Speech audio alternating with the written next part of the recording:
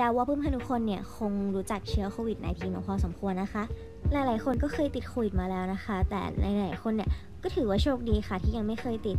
ดังนั้นนะคะ วันนี้เราจะไปเรียนรู้อาการของผู้ป่วยโควิด และวิธีการดูแลสุขภาพ ระหว่างเป็นโควิด และหลังเป็นโควิดค่ะ อาการของผู้ป่วยโรคโคโรนาไวรัสหรือโควิด -19 นะคะผู้ติดเชื้อไวรัสส่วนใหญ่เนี่ยจะมีการป่วยทางเดินหายใจเล็กน้อยถึงปานกลางและหายเป็นปกติ โดยไม่ต้องได้รับการรักษาเป็นพิเศษจากแพทย์ค่ะ แต่ผู้สูงอายุและผู้ที่มีโรคประจำตัว เช่น โรคหัวใจและหลอดเลือด เบาหวาน โรคทางเดินหายใจเรื้อรัง หรือมะเร็ง มีแนวโน้มที่จะเจ็บป่วยรุนแรงมากกว่า ทุกคนสามารถป่วยด้วยโควิด -19 ได้ และสามารถป่วยหนักหรือเสียชีวิตได้ทุกวัยค่ะ วิธีที่ดีที่สุดในการป้องกันและชะลอการแพร่เชื้อ คือการได้รับข้อมูลเกี่ยวกับโรค และการแพร่กระจายของไวรัสป้องกันตนเองและผู้อื่นจากการติดเชื้อโดยอยู่ห่างกันอย่างน้อย 1 เมตร สวมหน้ากากอนามัยที่พอดี และล้างมือหรือใช้เจลแอลกอฮอล์ล้างมือบ่อยๆ และรับวัคซีนเมื่อถึงเวลา ไวรัสสามารถแพร่กระจายจากปากหรือจมูกของผู้ติดเชื้อในอนุภาคของเหลวขนาดเล็ก เมื่อไอ จาม พูด ร้องเพลง หรือหายใจ วิธีป้องกันเช่น การไอใส่ข้อศอกที่งอ และอยู่บ้านแยกตัวจนกว่าคุณจะหายถ้าคุณรู้สึกไม่สบายค่ะ ในหัวข้อต่อไปจะเป็นหัวข้อของการดูแลตนเบื้องต้นเมื่อทราบว่าพบเชื้อโควิด โดยจะมีวิธีการดูแลตัวเองเบื้องต้นทั้งหมด 9 วิธี 1. ปฏิบัติตามคำแนะนำการแยกตัวหรือกักตัวอยู่ที่บ้าน หรือ home isolation 2. รับประทานอาหารให้เพียงพอและครบถ้วน เพื่อให้ร่างกายมีพลังงาน 3. ดื่มน้ำให้เพียงพออย่างสม่ำเสมอ 4. นอนหลับพักผ่อนอย่างต่ำวันละ 6-8 ชั่วโมง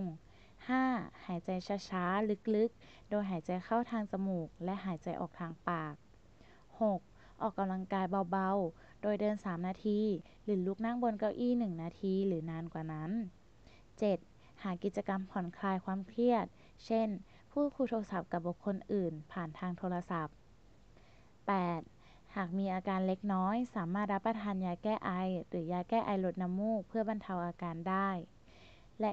9. หากมีอาการรุนแรง ให้โทร 1669 เพื่อขอรับบริการทางแพทย์ฉุกเฉินค่ะ ภาวะลองโควิด คือภาวะที่ผู้ป่วยที่ติดเชื้อไวรัสโควิด -19 ที่ได้รับการรักษาจนหายแล้ว แต่ยังคงมีอาการเหมือนขณะที่ตัวเองกำลังติดเชื้ออยู่ โดยภาวะลองโควิดนั้น สามารถแบ่งออกได้เป็นทั้งหมด 3 ประเภท ซึ่งแบ่งแยกตามลักษณะของอาการดังต่อไปนี้ 1. ภาวะที่ผู้ป่วยมีอาการใหม่ หรืออาการเดิมยังไม่หายไป คือการที่ผู้ป่วยโรคโควิด -19 นั้นยังคงมีอาการอย่างต่อเนื่องไปเป็นระยะเวลานานหลังจากที่ติดเชื้อโควิด -19 ครั้งแรก มักพบในผู้ป่วยที่มีอาการรุนแรงตั้งแต่ต้น และอาการมักจะทวีความรุนแรงมากยิ่งขึ้น เมื่อออกกำลังกาย หรือว่าใช้สมาธิจดจ่อกับสิ่งใดสิ่งหนึ่งมาก ๆ โดยจะมีอาการ เช่น เป็นไข้ปวดหัว วิงเวียนศีรษะคล้ายจะเป็นลม เวลาหายใจแล้วเหนื่อย หายใจได้ไม่เต็มที่ ไอ แน่นหน้าอก อ่อนเพลีย และก็เหนื่อยง่าย ปวดท้อง ท้องเสีย รับประทานอาหารไม่ลง ปวดหูหรือมีเสียงในหู ใจสั่น ขาดสมาธิ นอนไม่หลับ อารมณ์แปรปรวน มีอาการชาที่บริเวณกล้ามเนื้อและข้อ ไม่ได้กลิ่นหรือว่ารับรสได้ไม่ดี มีผื่นขึ้นตามตัว และในผู้หญิงรอบประจำเดือนอาจจะมาผิดปกติ ต่อมานะคะคือภาวะผู้ป่วยมีความผิดปกติในหลายอวัยวะ คือ การที่ผู้ป่วยนั้นมีอาการผิดปกติเกี่ยวเนื่องกับอวัยวะหลายส่วนในร่างกาย โดยมีสาเหตุจากการที่ร่างกายของผู้ป่วยโควิด -19 ไม่สามารถควบคุมการหลั่งสารในระบบภูมิคุ้มกันกลุ่มไซโตไคน์ได้ จึงส่งผลให้เนื้อเยื่อของอวัยวะหลายส่วนถูกทำลาย มักพบมากที่ปอด เนื้อเยื่อหัวใจ ไต สมองและผิวหนัง และเด็กอาจเกิดโรคที่มีอาการโรคคาวาซากิ คือ อักเสบในหลายอวัยวะมีไข้สูง ผื่นขึ้น ตาแดง ต่อมน้ำเหลืองไต อาจเกิดตอนที่ขณะติดโควิด -19 อยู่ หรือหลังหายทันที ซึ่งโรคนี้อาจส่งผลกระทบต่อหลายอวัยวะในระยะยาวได้ค่ะสุดท้ายคือผลกระทบระยะยาวจากการนอนโรงพยาบาล มักเกิดในกลุ่มผู้ป่วยโควิด -19 ที่มีการนอนโรงพยาบาล โดยเฉพาะห้อง ICU ที่ส่งผลกระทบด้านจิตใจ